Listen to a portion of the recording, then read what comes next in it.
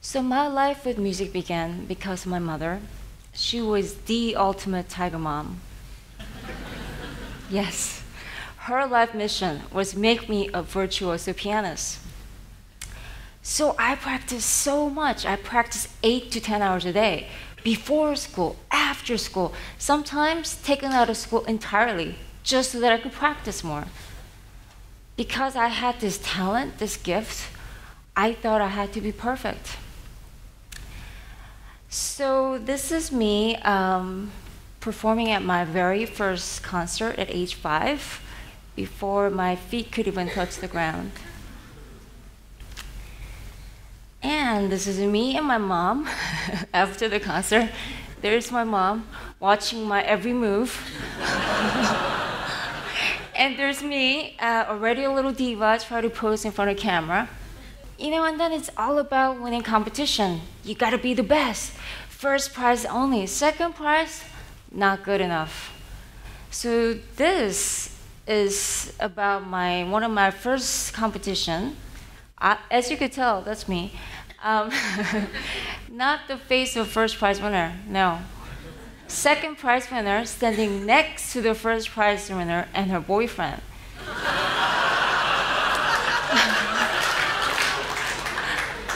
Know how you know how sad I look? I mean seriously, I was so sad. So the fierce competitor that I was, what did I do? I stole her boyfriend. yeah. so, but seriously, as a young pianist, your life is all about being judged in a competition compared to others, and worst case, criticized for your performance. So your whole self-image and self-esteem shaped by this very competitive nature. Growing up, I had some very serious personal issues. I had eating disorder. I was bulimic. I would stuff my empty self with food just so that I could throw it all up. But you know, once on my birthday, I actually ate the whole entire cake by myself. And then I had this weird habit too, like I would pull out my hair while I'm practicing, so a big chunk of my hair would just fall on fall onto the keyboard. And then I would scratch myself so hard until I bleed. I guess I felt so numb inside that I wanted to feel something. And it was all my dark secret. I kept it from everyone. My parents didn't know. And I felt so ashamed. So by high school, I had some serious issues. And this is me at 16. Um, yes, not a happy camper. Um, honestly, I thought I burned all my pictures around this time. Of course, my husband found it. and he's going, Is this like your heavy metal phase or something? so when I got to Juilliard, um, you know, my life as a pianist defined who I was. The feelings of my self-worth totally depend on whether audience liked about my playing or, you know, competition judges liked about my playing or my teachers liked my playing. So on a good day with a good performance, it was fleeting. I'm going, did they really like me? Did they really like me? you know, leaving me with self doubt. But on a bad day, oh, I felt like I was nothing. I wanted to just hide under a rock and just never come out and disappear. I felt completely inadequate. You know, life of a pianist, 99% of the time you will spend all alone in a practice room. For that 1% of the time where you're under the spotlight in front of thousands of people, on stage where you need to execute.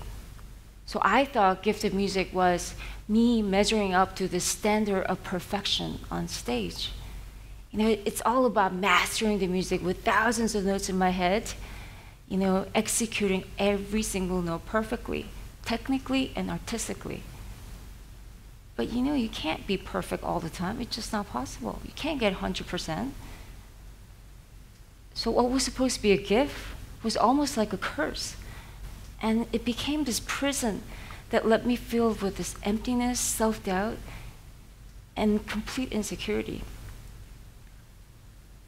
But then I had this revelation that changed me. It started with my faith.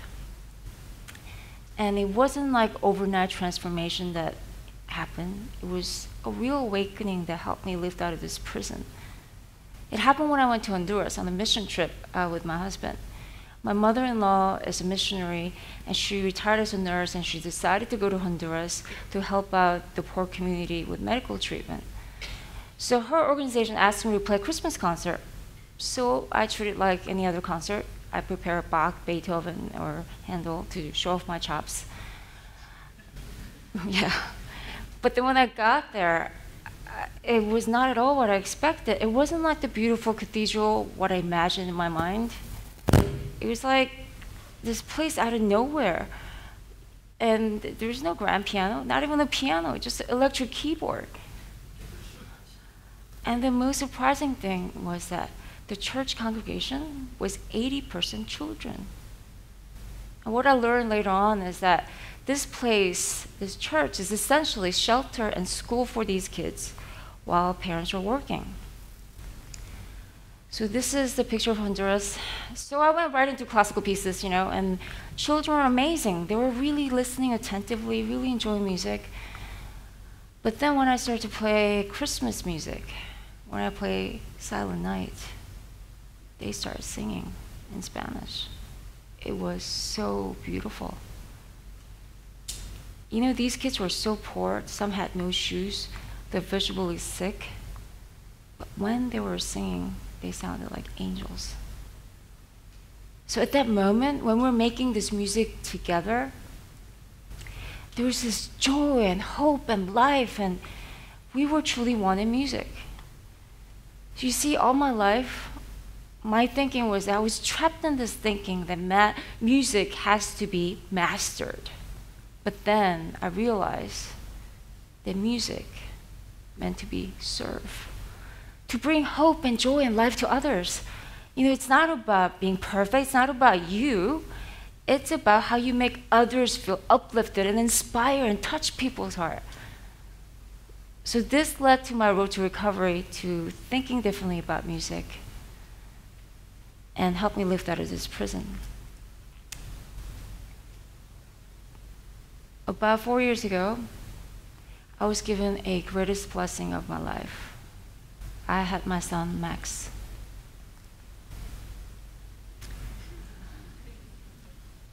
I had a very traumatic delivery. I almost died.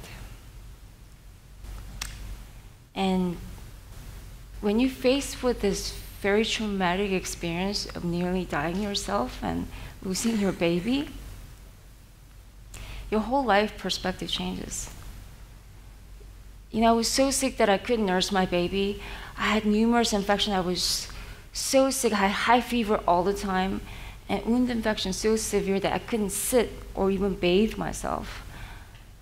So thank God for my mom. She came and she just took care of my baby while my husband nurtured me back to life.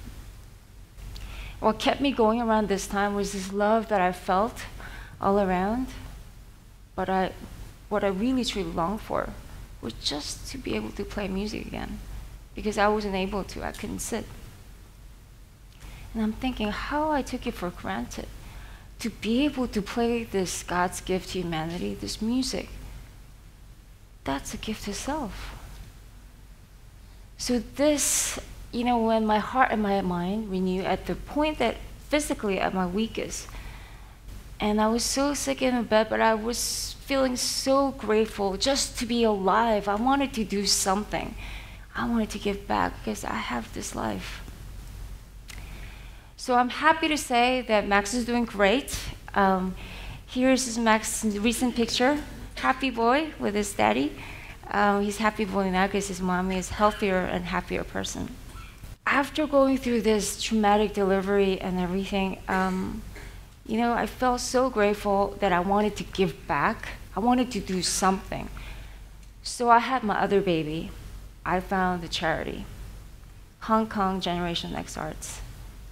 Our mission is to support and nurture our next generation of young artists because we've been, I've been there. I know how tough it is to face all this fierce competition and lonely hours of practicing. I just want to say that, you know, it's okay when your performance may not be your best or doesn't have to be perfect, just as you are. I want to just root for their you know, passion and dedication for this incredibly gifted young artist. So here is HKGNA um, presenting a New York Carnegie Hall debut for Hong Kong's excellent young artists. You know, New York debut Carnegie Hall is like dream come true for any young artist. We call this concert from Hong Kong with love. And our young artists were all wonderful, fantastic. It was a great success. And we make sure that we didn't just feature the first prize winner, but all prize winners. And, um, you know, with the standing ovation from the audience, again, we're connected through music and we became one in music. We felt so much love from the New York audience. So shortly after um, I found the charity, I met a friend of mine um, introduced me to Jackie Pullinger. You know, Jackie is a famous missionary figure in Hong Kong. Um, she now is a pastor of my church. She's truly my role model and my mentor. You know, she was a musician too. She graduated from Royal College of Music in England as an oboe player. And in her 20s, um, she came to Hong Kong and went into this notorious Kowloon Wall City. It's like the ha- haven for criminals and drug addicts and prostitution. And she helped them got off the drugs. Um, and 50s to 80s, it was completely ruled by triads and she saved their lives. She's truly amazing woman of faith. So when Jackie um, asked me to teach her boys from St. Stephen's, she's the founder of St. Stephen's Society.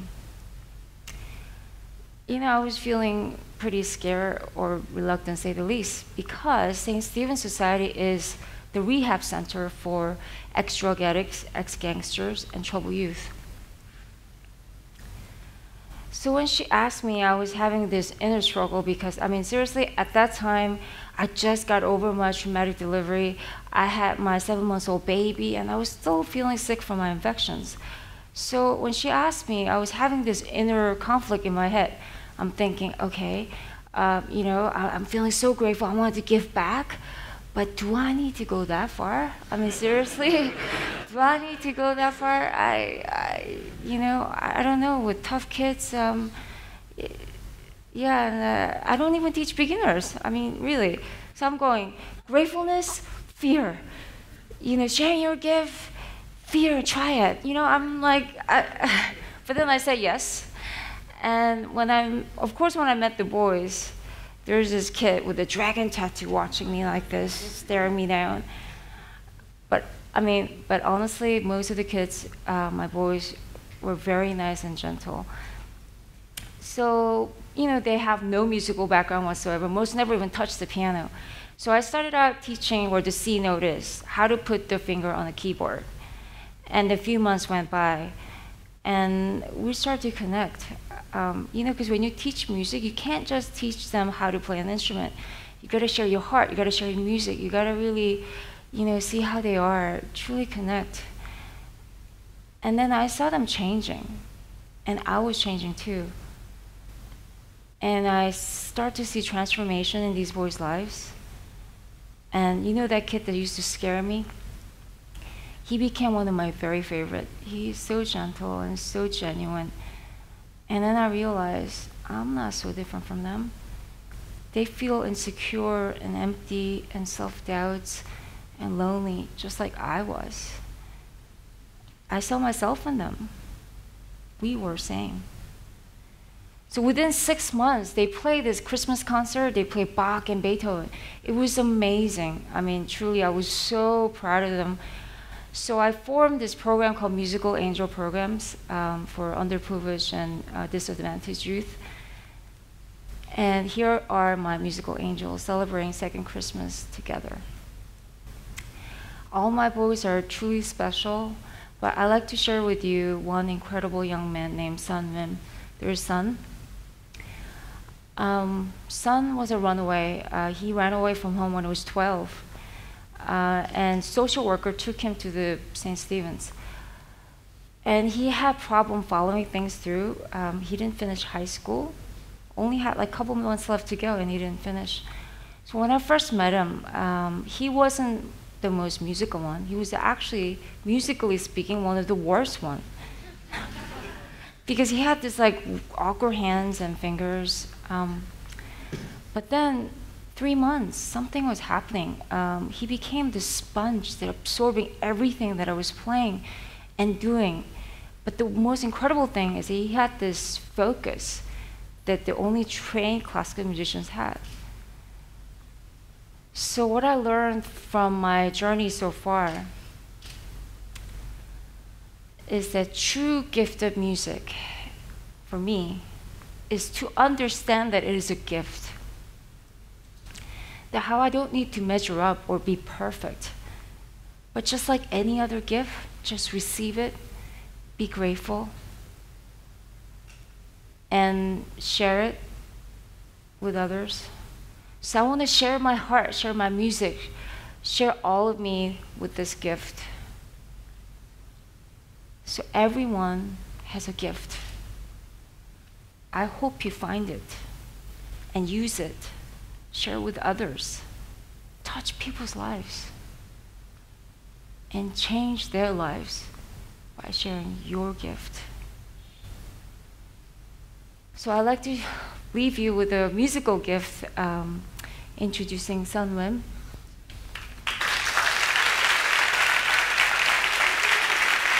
Okay. Thank you so much. God bless.